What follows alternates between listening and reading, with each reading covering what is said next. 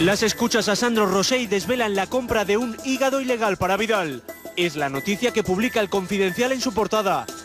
Son efectivamente conversaciones eh, textuales, eh, transcritas, que hemos reproducido hoy en el Confidencial, donde Sandro Rosell y un interlocutor desconocido admiten de forma explícita la compra de un hígado para Vidal. Según este diario, la Guardia Civil y la Policía Nacional interceptaron al menos cuatro llamadas telefónicas relacionadas con este caso. Al ser escuchadas, fueron remitidas a la jueza que investiga a Rosell por blanqueo de capitales. Y ante la gravedad del asunto, se decidió abrir una causa independiente consideran que los hechos son muy graves, las conversaciones son eh, y las afirmaciones son muy concluyentes y deciden dar traslado mediante dos oficios distintos a la Audiencia Nacional. Todo habría sucedido en un diálogo entre el expresidente y un interlocutor desconocido. Como relata el confidencial, los hechos descubiertos podrían ser constitutivos de un presunto delito de lesiones por tráfico de órganos. Además de las conversaciones telefónicas, se deduciría, según el portal, que la donación de su primo no fue real. He recibido una parte del hígado de mi, de mi primo y gracias a él estamos aquí, estamos vivos. Esto de que eh, había sido una donación eh, de un primo de Francia desconocido hasta ese momento no era más que un invento. Rosell admitiría en las llamadas que todo habría sido un invento para evitar un escándalo. 20 de abril de 2017. Casi a las 4 de la tarde, Sandro Rosell recibe una llamada.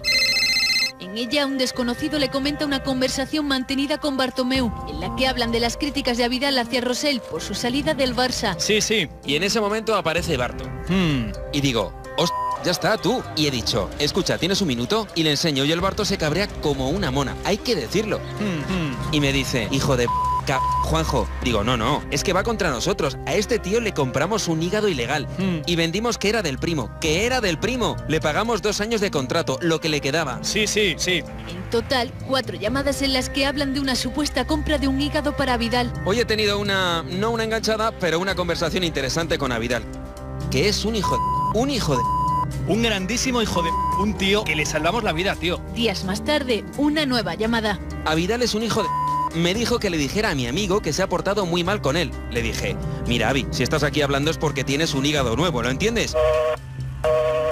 La conversación se reanuda minutos después. Es que estoy en Bolivia. Le dije a Vidal, si estás ahora aquí sentado hablando conmigo es porque alguien te compró un hígado, ¿eh? Formación ya remitida a la jueza Carmen Lamela, donde afirmaciones como estas A este tío le compramos un hígado ilegal y vendimos que era del primo, que era del primo. Que le salvamos la vida, tío. podrían ser constitutivas de un delito por tráfico de órganos.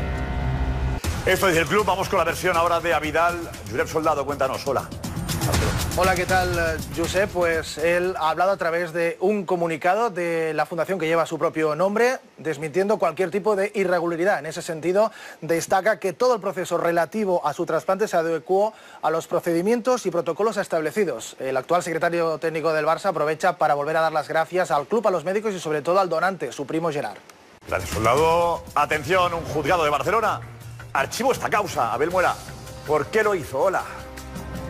Tal Josep, según han confirmado fuentes jurídicas a la sexta, esa causa independiente que se abrió por las llamadas telefónicas de Sandro Rosell acabó en el juzgado de instrucción número 38 de Barcelona. Se abrieron diligencias, pero se concluyó que no había delito. Además, el confidencial añade que la justicia española pidió la colaboración de la justicia francesa. Al no encontrarla, se dio carpetazo definitivo al caso.